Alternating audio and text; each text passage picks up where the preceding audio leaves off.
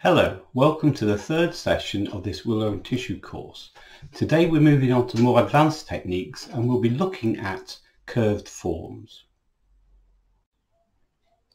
We'll begin by looking at what we can make with circles, so spheres and tubes for example.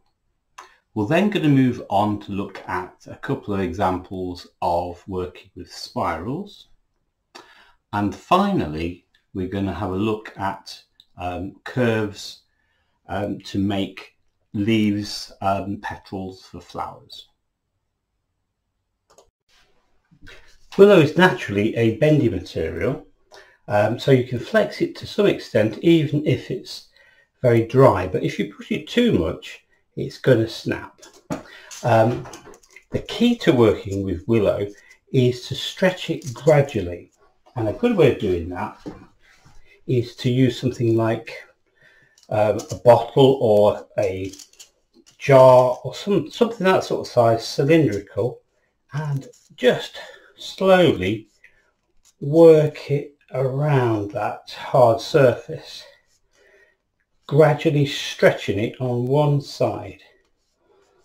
And you can get much better curves. There you go, snapped because I pushed it a little bit too far but you can get much better curves that way. That snapping is quite useful for you to see uh, about how far you can push it. Um, so if you want to get really good curves, you really need to soak the willow. Um, two hours should be long enough in the bath or I soaked in the water before in a stream, um, anywhere that you can find. This piece has been soaked overnight, which is even better. First thing I'm going to do is I'm going to wipe off the wetness. You'll notice this sort of brown gunk coming off. So it is a little bit of a messy business. Wipe that off. And now I'm going to start bending that and hopefully what you will see is it bends much, much easier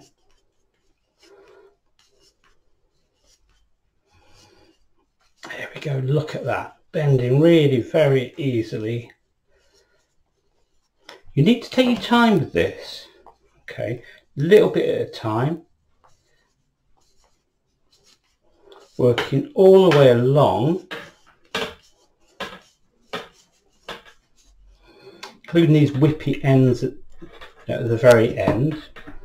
And then you've got something which is really very, very flexible. And the first thing we're going to make with this is a circle. So I can take this now and bend it around, loop it around to create a circle, bigger or smaller.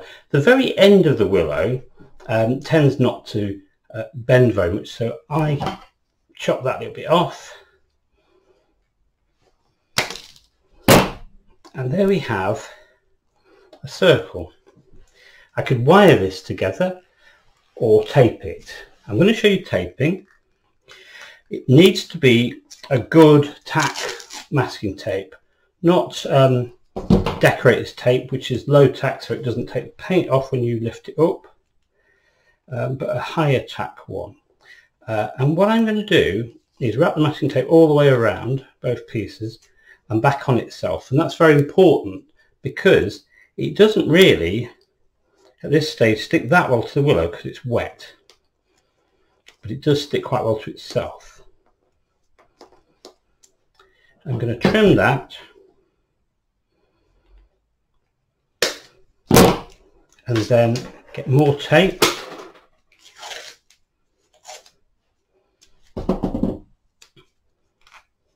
And wrap that around binding it nice and well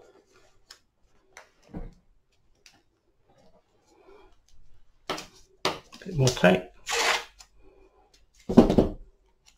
Don't be stingy with the masking tape. You need to use a lot to get a good fix. There we go. So it's held together nice and strongly. So I've got three rings of the same size and I'm going to make a sphere. So I'm going to join two together at right angles to each other like so. Masking tape, could use wire.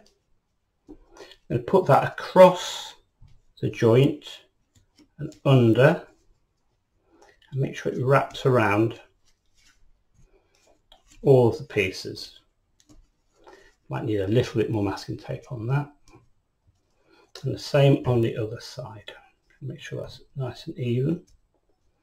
So a bit more masking tape. This time I'm going to start underneath. I think it'd be easier. Under. Wrap it around that one and the one next to it. Wrap this one around and around onto this one. So I'm trying to make sure it's nice and firm.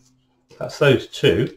And now my third one goes at right angles to both of them. slip it on the outside. Just coax it in. Oops. it'll have to go on the inside. That's it. Work out where it's going to fit size-wise.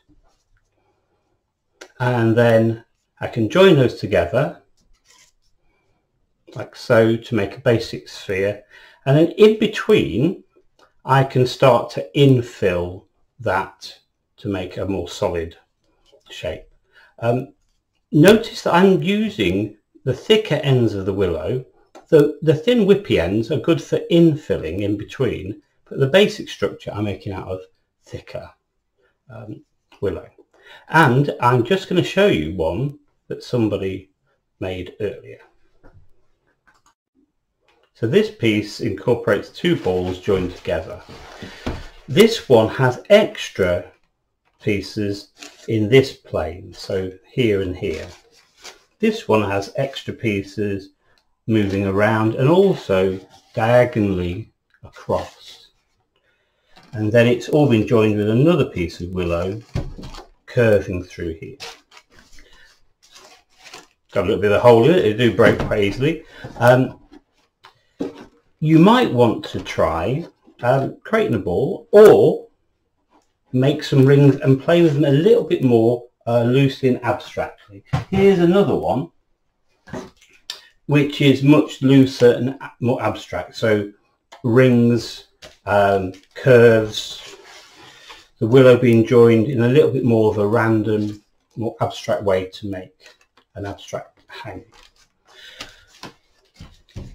So your first step today is to have a play with curving um, soaked willow and dry willow. See what sort of curves you can create. Uh, think about joining them together, either creating balls and building on that, or playing around with uh, curves in a more loose abstract way.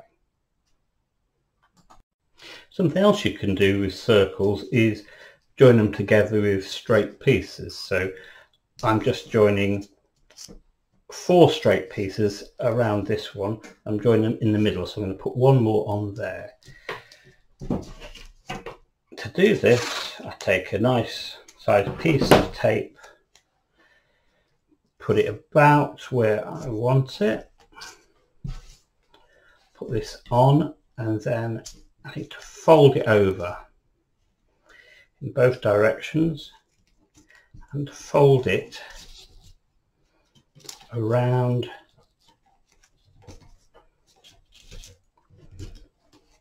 each piece to hold it nice and steady. And what I'm now going to do is add another ring the same size in just there. And then a smaller one a bit further on and pinch it in at the bottom so far so good so you can see that as the smaller ring goes in it pulls in and then comes to a point where I join pieces at the end. So just join up the other end now.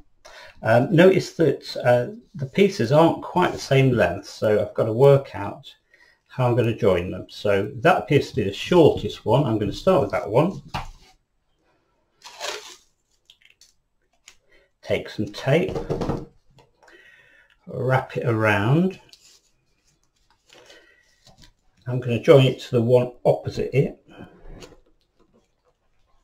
So sorry, get, get that back in the camera so you can see it. So I'm now wrapping around the other piece the same piece of tape back around the first one under and around so those two are secure. Make sure they're lovely and secure. I might put a little bit extra tape on there. That one you can see is definitely too long now so I'll take my secateurs just cut it down.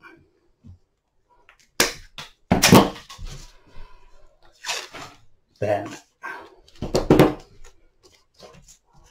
wrap tape around this end bring it in to the others and wrap the tape under and around. Last piece again needs a trim.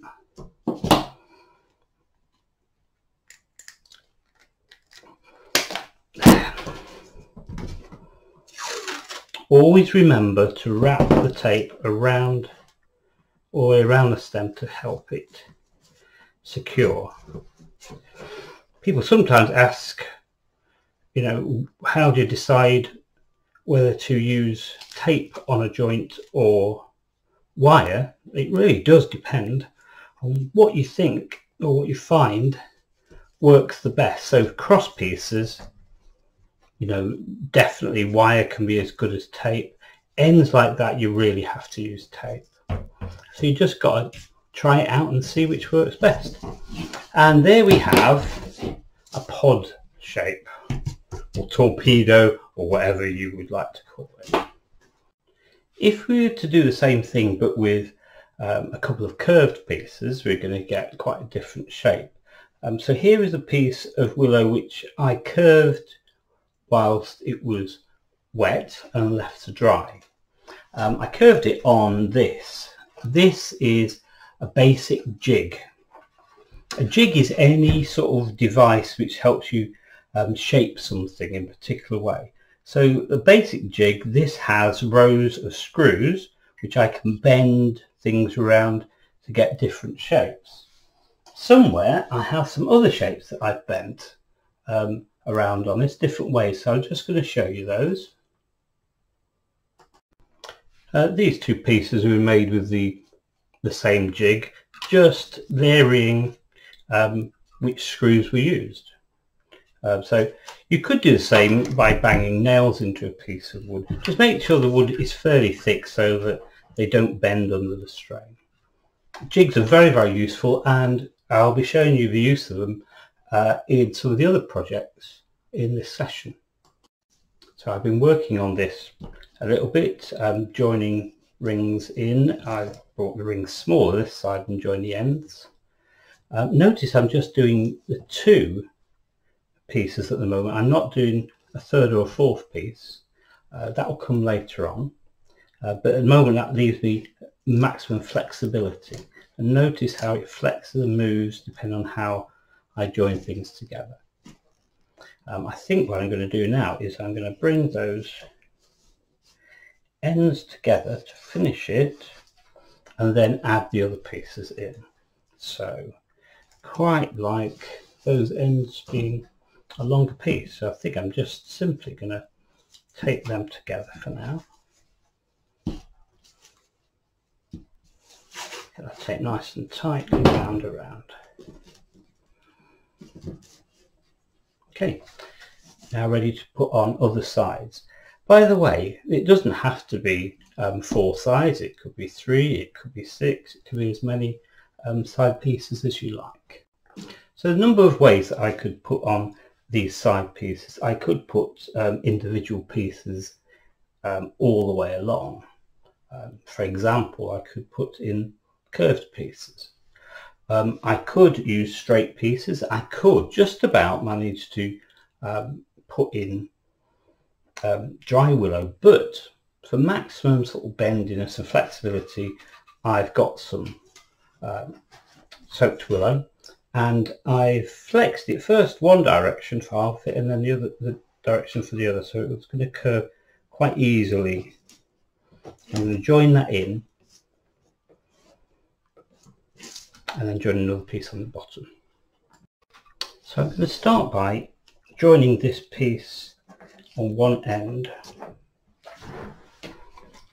so taping it into the end here Make sure it's nice and firmly fixed. Sure I've got the curve going in the right direction? Yes. I'm just going to work my way along, taping it on.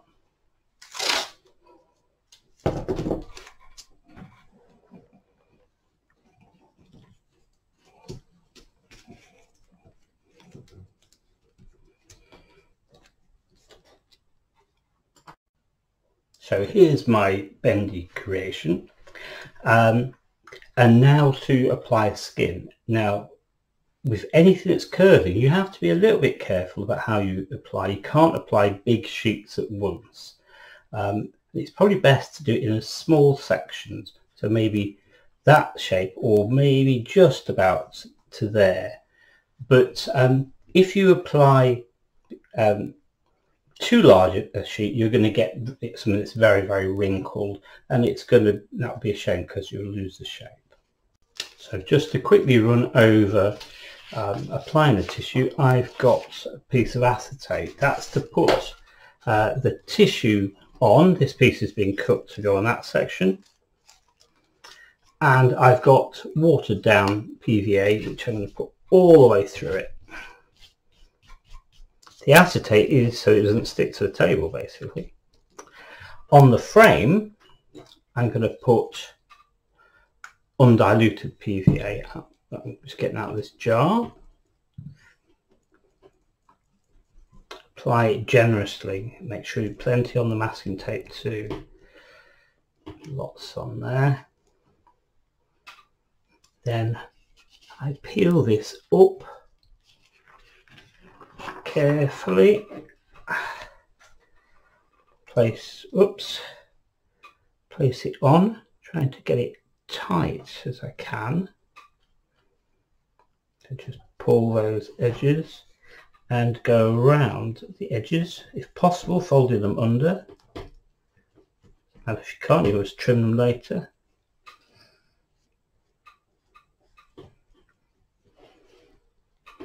making sure it's nice and firmly stuck down on the willow. To move on to the next section, I could probably do this section, but if I want to move it around without sticking to the table, I need to dry that section. So I take my hairdryer, put it on a low setting, and dry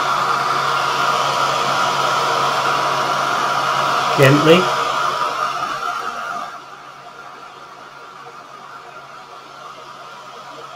For a few minutes.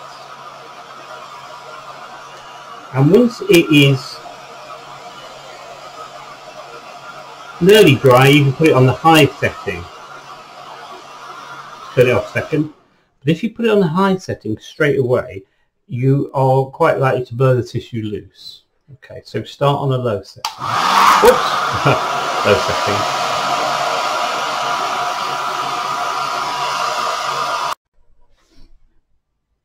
There is my finished structure ready um, to be decorated if I want to.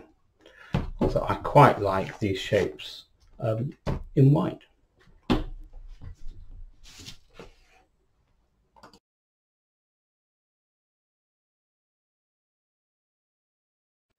Next to look at making a spiral shape um, like this, loosely based on a shell. So my starting point is soaked willow, drying it off.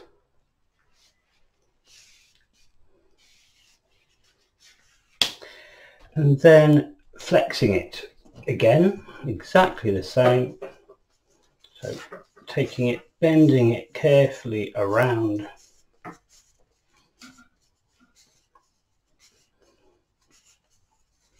do take your time with this. I'm rushing just a little bit.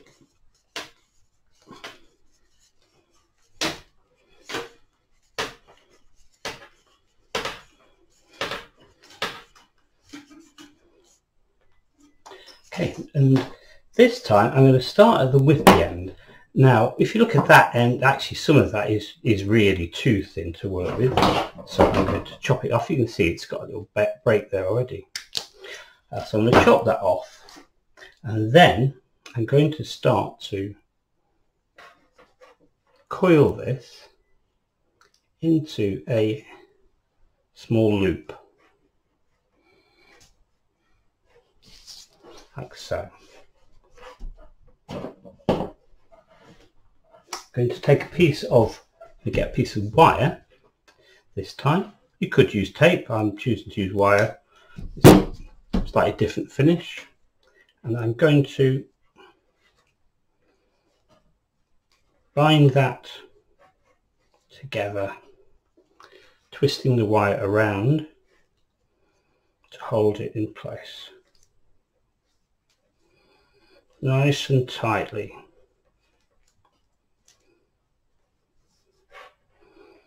That's my center.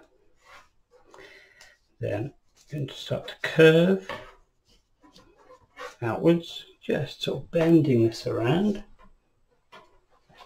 Oops.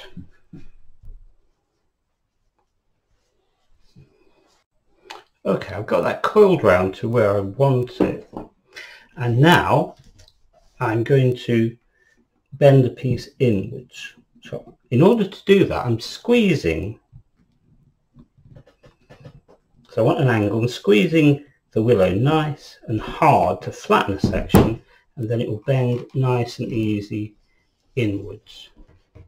What I'm going to do is I'm going to wire it there, but I'm also going to wire it temporarily here whilst it dries. Okay, so take a piece of wire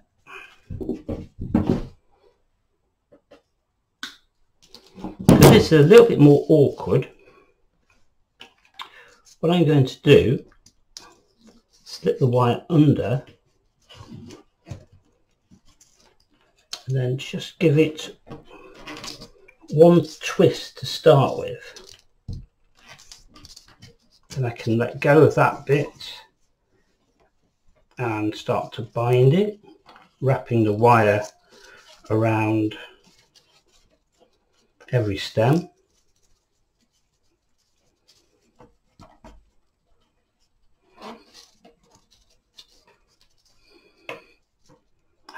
And.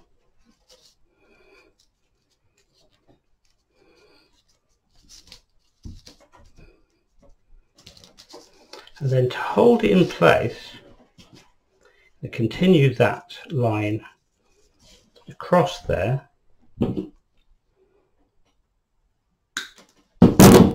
put another piece of wire there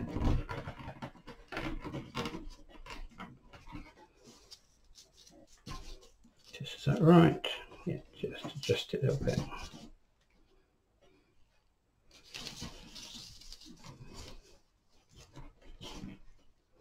and another piece just there.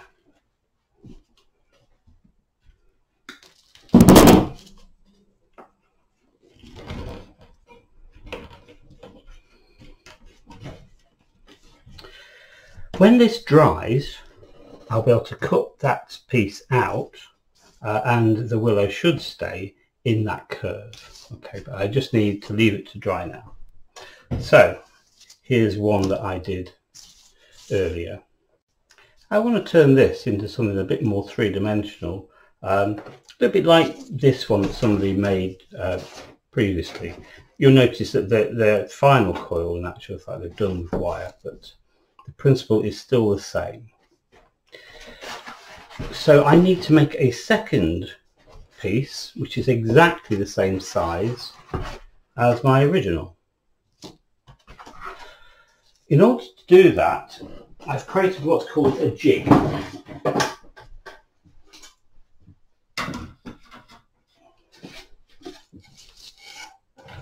This is my jig. And what I'm going to do is take the willow and twist it around there. So I have dried and flexed my soaked willow and now I'm going to create a loop around the screws in the middle with the whippy end. Secure that with some wire.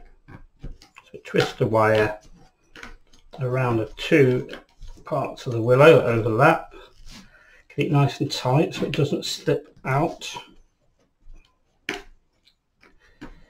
And then I'm going to start to take the willow around the jig.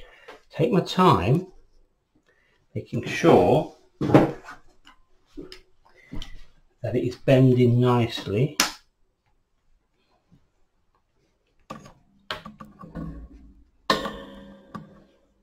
Following the curves of my design, using the screws to just sort of hold it in place, but the curving you need to do by hand. There, to that point. Then at this point, I'm going to take some pliers and squeeze it in order to flatten that section, which makes it easier to bend it without it breaking. Then that will just bend down there. Now it will hold just tucked onto those screws for now, but I will put a little bit of a tie there anyway, which we'll need when we take it off with the jig. So that needs to be left to dry thoroughly and when it comes off it should hold its shape. The willow can take um, a few hours or even overnight to dry if you're impatient to get on with your work, what you can do is once you've got this bent into a shape, is put in supporting pieces around it, um, spaced out to create some sort of pattern, which is what I'm going to start to do now on this one. So, I'll start there. I'm going to cut a piece that would fit into that gap. Ha, the end pinged off somewhere. I'm then going to take masking tape. These techniques were covered in the first two sessions, but I will just repeat them. I'm going to wrap masking tape around the end there and then wrap it around the spiral trying to make sure I go over the joint on both sides so it's nice and firm take another piece again wrap it round piece of willow. This is dry willow. I should have said that earlier. Um, it's nice and rigid. Wrapping it around the frame.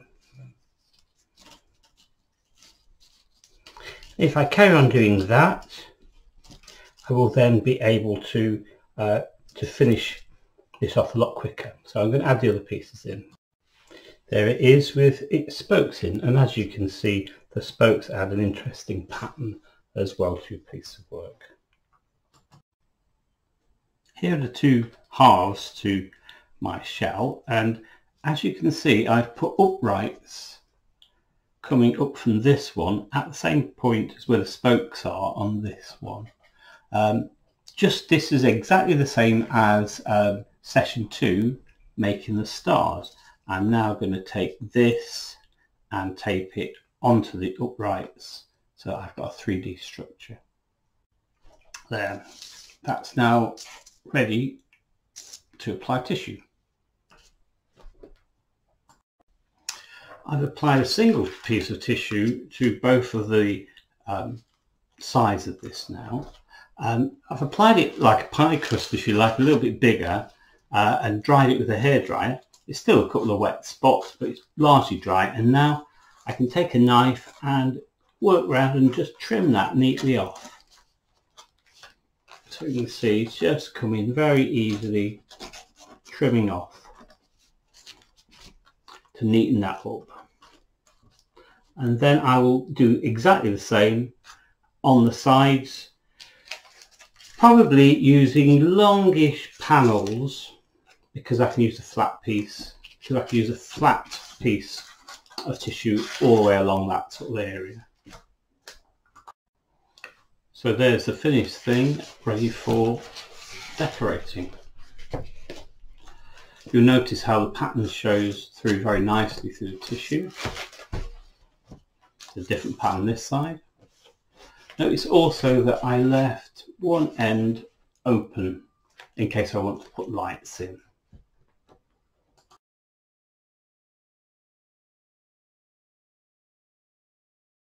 Here's another spiral idea which I'll just talk you through. Is a ring here at the bottom and attached to it four verticals which are then joined at the top.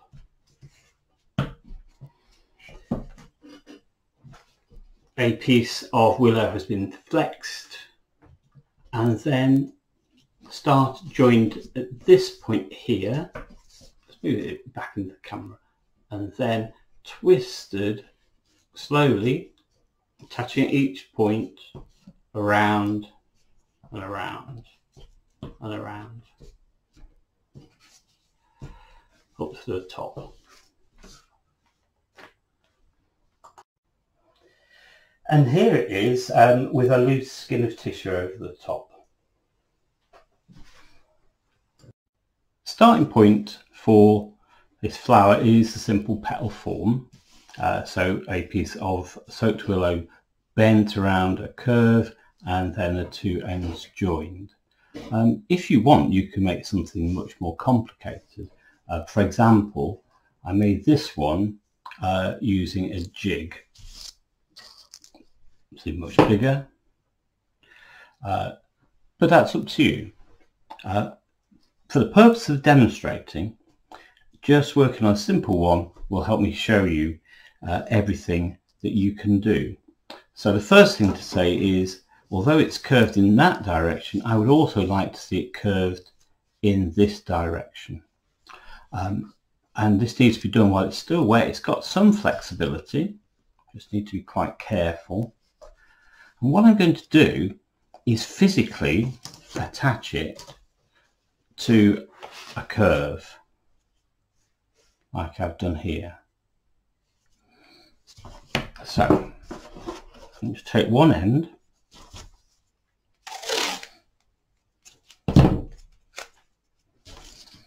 and to join that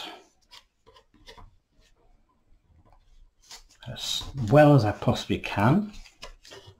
And bind that in place nice and thoroughly. So plenty of masking tape and then push and bend it so that it's curving and tape on down the other end. So whilst it's pushed and bent, get that tape on any way that you can to get it to secure.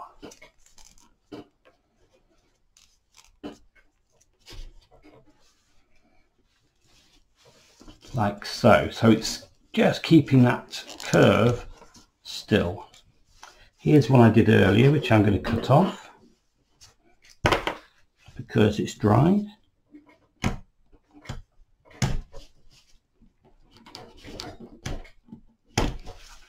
Get that tape off and off of this end. What we should find now that it's dried is it's kept that curve. Okay. Of course, you might want it to curve in two directions. I've set up uh, a jig here. I've screwed two different size tubes and bent the petal through there and then secured again with two screws. Okay, that's those are the petals that I'm going to make, I'm going to make a few of those and then join them together around a ring. So I now have all of my elements ready, a ring uh, for the center uh, and bigger and smaller petals. The smaller petals curve in one direction, the bigger ones curve in and out gently. So I'm going to attach some wire to the bases of these so I can wire it onto the centre and then cover them in tissue. So I've now got uh, all my pieces ready to assemble my flower. Um, I've made a central piece which is a little bit more elaborate. It's a ring with more rings joined to it. Um, this is for two reasons. One is to act as a basket to put a light in and the other is to represent the centre of the flower. It's fairly easy to make something like this uh, and I'll show you in a minute how I did it. But what I'm going to be doing is taking uh, first of all these smaller four leaves and wiring them into the base and then I'm going to wire on the bigger leaves. And in order to uh, get through the tissue I'm just going to puncture it with a bradawl um, or a sharp nail, big needle, anything like that would do. Uh, focusing for a moment on the dome in the middle, uh, this looks more complicated than it is. It started with a central ring and then two slightly smaller rings taped in at angles like that and then more added on. So I think I had three in one direction and two in the other, but all taped in the middle, all joined towards the sides to create that dome shape. Right, on to putting my flower together. So I've punctured a couple of holes in the, uh, the dome. And now I'm going to thread through carefully, pulling that tight just a couple of times. Threading that through and similarly with the other one. And then I will bind them together at the back. So turning it over just sort of twist those nice and tightly together so I've got my leaf joined on. Right, seven to go. So what I have now is my basic flower and what I can start to do is shape it by bringing pieces up and I could join them together like that. This is what I think I will do. Now I could join them with wire or I could join them with a little bit of glue. I think I'll try just a little bit of glue. So there is my final flower. I'll just show you in a moment what it looks like lit up.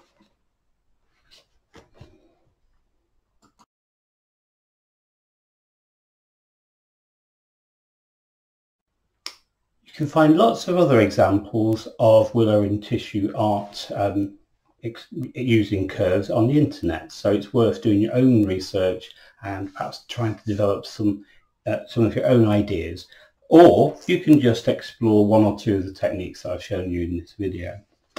Um, that's all for this session. Next session, we'll be looking at uh, animals. Bye-bye.